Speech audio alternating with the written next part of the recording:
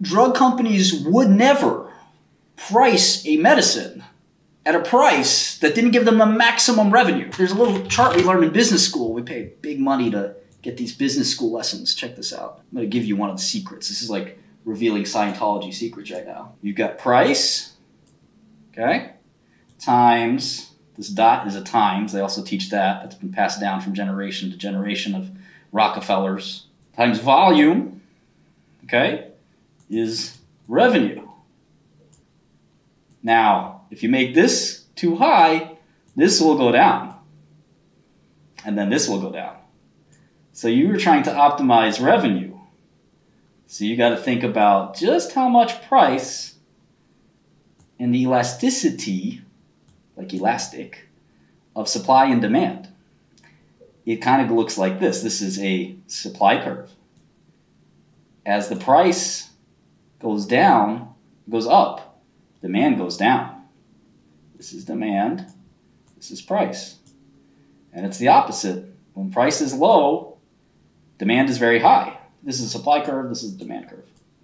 They meet at equilibrium. You price too high, demand is very low. You price too low, demand becomes very high. That's it. You raise this too much, this drops. You rate you put this too low, this will go up a lot. So no drug company in their right mind would have their price way too high. What happens if you put your price way too high? This is demand. Demand would be very low. This is zero, right? So what would stop me from putting my drug price at a million dollars a pill? I would have no demand, right? And I would have no revenue. With no volume or demand, this will be zero too. So every drug company prices it just enough to get volume, but not so high that they have what's called demand destruction. Well, you could put it high. That's great. Insurance has to pay for it. So everyone wins. Drug company wins. Patients still get their drugs. That's what happened to Daraprim. But there is a limit to pricing. I mean, you can't put a, a million dollars a pill. People just won't take it. Yeah, demand destruction. It's a common common theme. Insurance companies never fight drug companies, especially not for serious serious uh, illness. Well, some companies have, but a million dollars a pill would be three, four hundred million dollars a patient. There's no, nobody's ever going to pay that. They just as soon say, sorry, we're, we're not covering it. But yeah, there are two million dollar drugs, four million dollar drugs. Why are you working at Sunday? Exactly. It's Sunday. It's work day. It's literally time to work. Something wrong with you? You don't work on Saturday, Sunday. You know what's happening? Your competitor is working on Saturday and Sunday. And your competitor on Monday is going to unveil the thing that's going to kill you. And you're going to sit there saying, oh man, I wish I went to the park. I didn't want to go. I, I wish I didn't go. I, I went to the park and, and now I'm out of business. That's why every time you see one of these billionaires or whatever, you think they, they got there because they're lucky? You think it was just like an accident? Oh yeah, you know, we just stumbled upon this thing called Facebook, and oh man, it's crazy how how it made me the the most most you know the person who made the most amount of money in the shortest amount of time in, in the history of humanity. Yeah, just just just seemed to work. Crazy how it works. In terms of how the bubble actually plays out, it's very interesting. Tech caused a big reckoning in the crossover and hedge fund world for investing in privates. So I think that we'll see the same beginning of the bubble which is uh, venture funds chasing valuations and stuff like that. But I think the exits will be IPOs. And I think that, again, I don't have a crystal ball, I could be wrong here, but I think we will see like $5 billion, 1 to $10 billion kind of IPOs of AI companies with no revenue um, or limited revenue. And I think people will be okay with that. Now, remember in the tech bubble of 99 and 2000, it wasn't so much the large market caps it was actually the number of one to five billion dollar market caps. That there were a bunch of fly by night companies that went up and then went down, and that was it.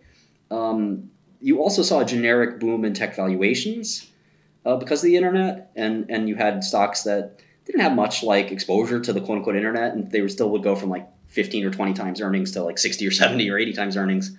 Uh, Microsoft is actually fairly good describer of that. Actually, all they had at the time was Office and Windows, and neither one was really particularly levered to the internet, but their valuation quadrupled anyway. So, you know, I think that you know, I don't. I think people will be a little more rational about AI um, benefiting kind of all these companies, but you do see some of this starting to play out in the markets. Like Adobe's released an AI product.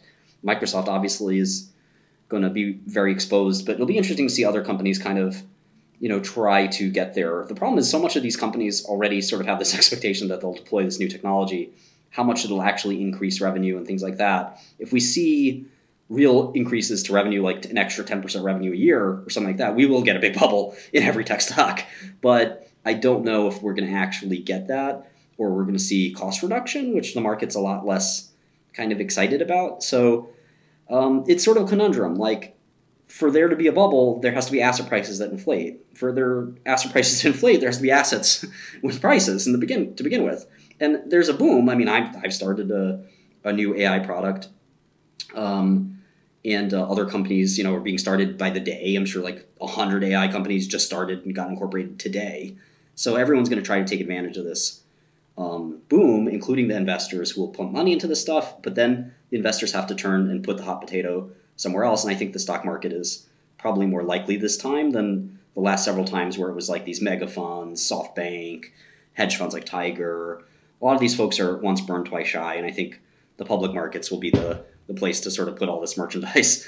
Why a bank needs to have debt? Isn't that funny? You know that, that a bank like J.P. Morgan actually has debt. I can understand a, an industrial company having debt, right? If I'm uh, Pfizer and I want to buy a biotech company that's really promising, I might say, well, I could pay with it with cash on my balance sheet, or I can borrow money from J.P. Morgan. That kind of makes sense. But it's kind of weird to me that then JP Morgan would go borrow money as well. Um, and it's not a small amount, right? It's 400, 350 billion dollars. Um, and presumably it's it's a safe bet, but what do we know, right? Everything's safe until proven otherwise. So here's trading liabilities. And again, I think these are like as I think more about what could trading liabilities be. They have trading assets and trading liabilities. I think these are probably like assets with trading partners, things like that. So it's about 200 billion. It's a very large number for a vague, a pretty vague statement. So these bank, bank balance sheets are something else. I got to tell you. All right, so we have v, VIEs, which are sort of weird financial instruments, and that's it. We have total liabilities of 3.3 billion. So the book value of JP Morgan is 292 292 billion. And if we reduce that by goodwill, the tangible book value is 231 billion. But the market value of JP Morgan is 393 billion. So it makes you wonder why JP Morgan's trading at two times book value. Most people say that banks should trade at one times book value. Um, or slightly slight premium to that, but not more. So JP Morgan looks pretty pretty overvalued um, just based on that alone but we still also have to like dissect this really carefully. But That's like a rule of thumb for most banks is that they they should not be trading at this massive premium to their book value because ultimately, you know, a bank is nothing more than than its assets, and as its assets get worked out, that's really all you get in a bank. It's not like you're buying a franchise, right? You're just buying the current loan book. So that doesn't apply in a tech company where the book value doesn't really tell you anything other than the maybe the rock bottom value of what a company should be. Whereas book value for a bank actually does kind of reflect, you know, what it should be. Um, it's funny that actually in banks, if you try to become the largest stockholder of a bank, you actually have to get regulated as well. So they just they don't let just anybody be the largest stockholder of a bank. Isn't that funny? It's uh, it's regulated by the OCC that I mentioned earlier. So, for example, if I wanted to go buy all the stock of First Republic, they probably wouldn't let me. Or they probably wouldn't let a foreign company do that either. Dude, they've raised, they've diluted like almost nothing. Like, look at the Series B. Do you see this, guys? They raised 50 million at 2 billion. So that means that some of you may not know this. I'm sorry if I have to belabor this. Um, let me use my trusty Microsoft Paint. So pre-money valuation. So this is a concept in venture investing that basically means what is the company worth before the new investors? Does that make sense? So if you and I decided we're going to start a company, let's call it Nibbles Co. Nibbles and Company. There we go and we just agree that okay we own it 50-50 and we want to sell 1% of nibbles co for $10 million that means the 99% right if each 1% is worth 10 million The other 99% would be 990 million, right? So total of 1 billion. So we could say the pre-money for Nibbles Co. is 1 billion. Now I don't think anybody would put money in that because Nibbles Co. isn't a really exciting company. But for Notion, they said the pre-money would be 2 billion. Okay? And then they raised 50 million. So the post money is 2 billion plus 50 million, which is 2.05 billion, right? So now the old investors own 2.00 divided by 2.05. Calculate that. 2 divided by 2.05 is 97.6%. The new investors own the rest, right? 0.05 divided by 0, 2.05, just 2.4%. So this is very little dilution, right? If you started this company 50 50, right, you only lost 2.5% of the company to the new investors. And of course, you got the 50 million in your bank account, which you could do a lot with. So that's that's kind of the idea. So the other thing they did was they did the Series C, same idea, where they sold 275 million at 10 billion, a whopping 10 billion pre-money. So 10.275 billion post money. Old investors own 10 divided by 10.275, which is 97.3%. New investors own 2.7%, right? So they went through both funding rounds and only gave up 2.5% and then 2.7%. So the founders of this company must own, if you ignore the Series A, which we can't ignore, they might own still up to 40%, right? So if there were two co-founders, which I'm not even saying that there are, but just the founders alone would be 95%, investors 5%. Isn't that crazy? We don't know who those founders are. There could be five of them, 10 of them, or there could just be one of them. And that person owns 95%, or that group of people, of a $10 billion company. So they're worth about $9 billion. That's the, the promise of tech. But we haven't looked at the Series A yet, and that's where a lot of the valuation sometimes, a lot of the dilution happens. Okay, so not in this case. so they raised 18 million at an 800 million pre-money. So that's only another 2 or 3% dilution. This company has done amazing. And look at these investors. They are now up 10x, right? In just 2 years. They're up or 3 years. They're up 10x. We've got a couple of venture firms, but also people like Elad Gil, who's a very famous investor. So amazing how well Notion has done. Let's look at the seed round or angel round. Let's see, the angel round was Sequoia was in there, and we don't have a valuation there. So that valuation could have been maybe more more dilutive. But again, only raised. It's not even clear what they raised, if any, you know, what they raised at all. And there was only one investor in the in the seed round. So my guess is the founders of this company are are mega billionaires. We got um, Akshay Kothari, uh, Madhu Muthukumar Kumar. I messed that one up. Who's the CEO? Oh, Ivan Zhao. Usually Ivan is a Russian name, right? Ivan Zhao, multi zillionaire now. Just kind of came out of nowhere. Interesting, they founded the company in uh, 2013, it looks like, so it's not been an overnight success. Constant currency is C O N S T A N T, constant. And what that means is adjusting for um, uh, the changes in foreign exchange rates. They, if they were, if they're constant, if currencies were constant, they would have grown seven percent, which is a lot different from two percent. But um, last quarter was sixteen percent, and they've had like twenty percent growth before that. So growth is definitely slowing for Microsoft, and that's why we're so interested in tonight's tonight's results. Do you think the recession will happen soon, 2023 or 2024? I don't know.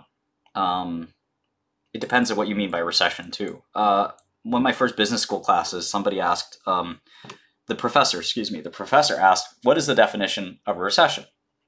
And I raised my hand as the like go-getter kid, the over over eager kid, and I um I raised my hand. And I said, two sequential quarters of decline in GDP growth. And the professor said, wrong. And I looked at him like, what? you know, I know what recession is. And he said, no, a recession is when my friends can't find a job. A depression is when I can't find a job.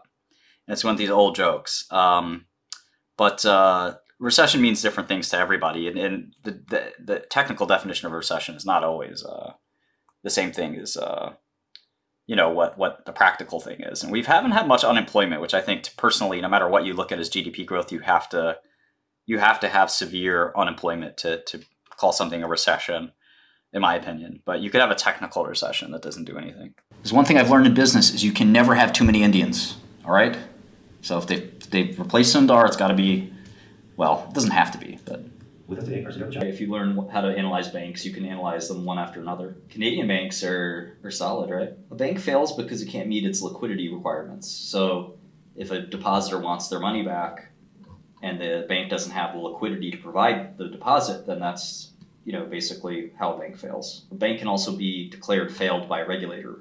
So I guess you know there is an auction going on for SVBs. Yeah, I mean I think the bailout talk is I see it both ways. I see it as obviously a bad thing in the sense that, you know, we shouldn't encourage poor management to be like these guys basically took this risk for this extra reward and they basically said, well, you know, if, if the worst happens, we have to, you know, we'll get, uh, get bailed out. Like, obviously, like that's not, all these other companies were more prudent. So it's really not not fair, right? So the thing about banks is the whole point of the bank is book value. A bank book value is just assets, right, minus liabilities. And the problem with book value is it's very hard to measure with most uh, banks. It's very easy to measure everywhere else, right? When we pull up the assets, as I've done hundreds of times here, when I pull up the assets and liabilities of a of a company, it's fairly easy to tell what's a real asset and what's a real liability. So remember, there are three financial statements right? The big three income statement, balance sheet, and what else? You guys know. My, my kid is going to know this when my kid is like four years old. Cash flow statement. Good, good. Everybody knows. That's good. Income statement, balance sheet, cash flow statement. Some people say the Holy Trinity, right? There's some differences between these uh, statements. The income statement is what I'm looking at now. The income statement is so called period statement, right? A period is a period of time. And so the income statement discusses or displays the company's results over a period of time. So this is the revenue, which is kind of the first item of the income statement, which most people call top line sometimes because it's literally the top line. And it's the revenue. So this is how much company product was sold. But how much cash a bank has does make a big difference. So this is just a, a pill company at the end of the day. They have cash, but it's really easy to determine what cash is. But when we look at the bank stocks, this is going to be a lot more complicated. Okay, how about accounts receivable? This is a, big line for this company. This is basically money that is owed to the company for their products. In corporate America, most products are sold on credit. They're not really sold in a uh, cash up front kind of way. So if you're Mylan or Viatris, this company, you'll sell a pallet of pills, right? Like trucks load of pills to your to your distributor. Don't worry about the cash. Pay us when you can, right? Because you know they're they're going to pay. If they don't pay, all right, well you can get the, the pills back. So you do business that way. It doesn't work that way in retail or something like that. Banks don't really have accounts receivable. They have loans receivable. We'll talk about that in a second. Um, inventories are another part of what's called working capital. So inventories in this case are for this company around three billion dollars, and inventories are just products that you haven't sold yet, and they could be work in progress or WIP. They could be raw materials that you're stockpiled, um, like chemicals in the case of making a pill, or you know possibly chip, you know chip equipment, not chip equipment, but let's say I don't know, chip parts um, before you make the final chip. That's called a work in progress. Or it could be a good that you're finished and you just haven't sold yet. That's fully packaged and fully ready to go. So banks also don't have this because banks don't aren't product companies. They kind of provide a service. So we're not going to see inventory or accounts receivable when we look at a bank balance sheet. We're really going to look at the, the financial assets the bank has and, and try to scrutinize those really carefully. And the point I'm making here is banks' balance sheets are 10 times harder to analyze than a tech company or a pharmaceutical company uh, they're actually really, really difficult because you have to comb through all of the fine print to see well what exactly are the bank's investments. Remember, the bank receives a liability. Their deposits are actually a liability because they end up taking all this cash in, but it's not their money, right? They're just holding it on. It's a deposit. So when they return the money, you know, there's there's going to be a, uh, a liability that that money is owed to the customer. So in the meantime, they get to invest the money, and that's kind of the problem with banks if you think about it, right? Like they're very asymmetric. Um, when you put your money in a bank, the, the bank's using it to make money for themselves. Uh, you don't get that money, right? They want to pay you the lo- lowest possible rate to get your money in. And these bigger banks, they know you kind of have to bank with them, so they arguably don't even have to pay you anything, right? JP Morgan pays nothing on their bank balances. Good luck, right? So it's very, very difficult to to have to um, work with these banks, right? Like um, it, it's really frustrating uh, when there's there's just not that many banks to choose from, and they're not that interested in competing with you. Um, uh, competing for for your business, I should say, not with you, for you. Um, they just don't care, and you know, in fact, they've gotten to a point where they can kick you out for for not you know complying with what they you know feel you should be complying with. When you buy a company and you buy buy it for more than book value, you use that part that was more than book value and you have to put it on your balance sheet and you depreciate or amortize that over time. And what's funny about that goodwill though is it's worth nothing. It is literally worth nothing. Uh, but there's this concept that you didn't buy this company for more than its than its uh, book value for no reason. So you must have bought it for some reason, and you could call that an intangible asset or goodwill. But it's um, you know you have to sort of do an accounting class. And i've done a bunch of these on, on youtube if you'd like to really get behind what is goodwill or what is intangibles. But that is basically zero. And sometimes we have this thing called tangible book. And i really want you to think about that for a second. Because there's book value which is assets minus liabilities uh, and then there's tangible book which is your tangible assets minus liabilities i like to look at tangible book because at the end of the day those those goodwill don't mean anything to me right? I can understand what cash is. I understand what accounts receivable is. Accounts receivable is a real asset. You know, those customers are going to pay me, um, or I'll sue them and get the money. And ninety, you actually can only put on accounts receivable the money that you're likely to get. So if somebody's delinquent, it doesn't go in here; it gets charged off. So this is four billion. The company is likely to collect in the next like thirty to ninety days. So this is to me is almost as good as cash. This inventories are soon to become accounts receivable which will soon become cash. And sometimes that's called the CCC, cash conversion cycle. Um, and prepaids are assets too, right? Just because I paid for my Salesforce.com or I paid for my Windows software doesn't mean it's not an asset. Until I use it, it's, it's sort of an asset of mine if you think about it that way. Like when you pay your rent, if you prepay your rent six months in advance, that's an asset of yours. That number will drop over time, but it's still an asset. This, though, goodwill, is worth zero. So as I sum up all the assets of this company, what do you notice? It's got 46 billion in assets. Well, that sounds like a big company, right? Wrong. You know, if you deleted this 33 billion, it's only 13 billion in assets. Let me put in the the other things like they have this deferred tax advantage because they're a foreign company and they have other assets which are 2 billion. So our numbers in Excel match the numbers in this SEC filing. The SEC filing says the company has 50 billion in assets. So basically, the real tangible assets are 17 billion. These are assets you can literally put your hands around and say, okay, this is real. So accounts payable is the opposite of accounts receivable. This is money you, you owe your vendors and you just haven't paid them yet. Um, debt is obvious, and debt is going to come really important when it comes to bank stocks. This company has a ton of debt because they paid a lot of money to Pfizer to merge Mylan with Pfizer's one of Pfizer's divisions called Upjohn. So they have a ton of debt. And sometimes at this point, I like to put a line up here, which is not part of the balance sheet, but I like to do it myself just to look at it and say net cash. So their net cash is kind of what I think of as their net liquidity. So they have cash of a billion in the bank, but they have 18 billion they owe uh, bondholders. So they have negative net cash of 17 billion, which is quite a lot. And we're going to see how to interpret that in a second. So they have taxes they owe various tax authorities. That's around 300 million here. Um, they have more debt that I didn't count, another 2 billion or 1.2 billion, I should say. So that brings it up to 19 billion. They have, um, let's see, a couple more things here. Other current liabilities, which is kind of like a generic line of just other things, other money they owe. Other non-current liabilities. Non-current means that they owe it the, the amounts are owed over more than one year. So current means in balance sheet talk, current means within one year, non-current means with one year or more. So this is where things get really interesting. They have another tax line here. 2432. Okay, so all the liabilities add up to um, let's see, it looks like 29 billion. Let's see if Microsoft Excel has the exact number. Yes, 28,950, and this says 28,950. So I'm satisfied I put the numbers in correctly. But here's the problem. If I added all these liabilities up, let's just do it over here. I would think that this company is solvent, right?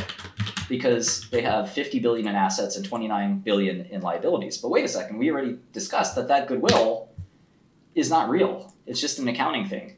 So they really have 17 billion in assets and negative 29 billion, or I'm sorry, 29 billion in liabilities. So their tangible, their book value is, let's put this number back in actually.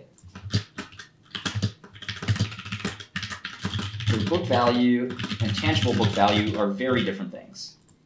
So the book value of a company is assets minus liabilities, 21 billion.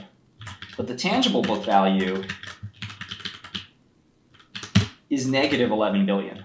There's a really old joke in value investing circles which says, What's the definition of book value? And obviously, the book definition is assets minus liabilities.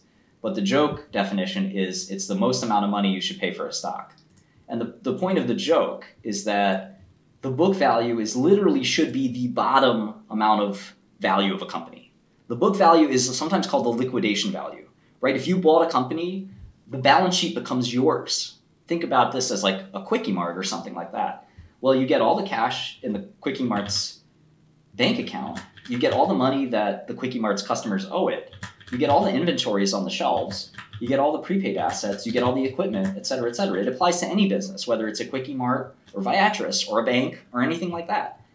Um, but you also owe all the bills, right? You owe all the debt. You owe all the taxes. So when you break down what's the what's the net net, what's the book value, it looks positive if you don't include the goodwill. If you include the goodwill, but if you take out the goodwill, which is not valuable, it's negative. So if you bought all the shares of this company and shut it down today, you would owe $12 billion. But the company has a value. The company is worth 12 billion. Why is the company worth 12 billion? Well, because the company makes money every quarter. And, and that's sort of the way you look at it. So as we look at the, sh- the shareholders' liability, which is what makes the balance sheet balance, it's assets minus liabilities. So this is a synonym for book value, the shareholders' equity. And we, we add this up to make sure that it equals assets. And you can see the balance sheet balances because those two are the same number.